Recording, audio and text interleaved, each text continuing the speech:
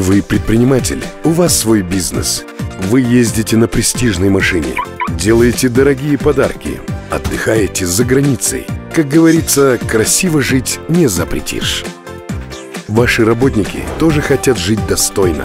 Вовремя платить за квартиру, не влезать в долги, покупать подарки детям к праздникам. Ваши работники – ваш главный капитал.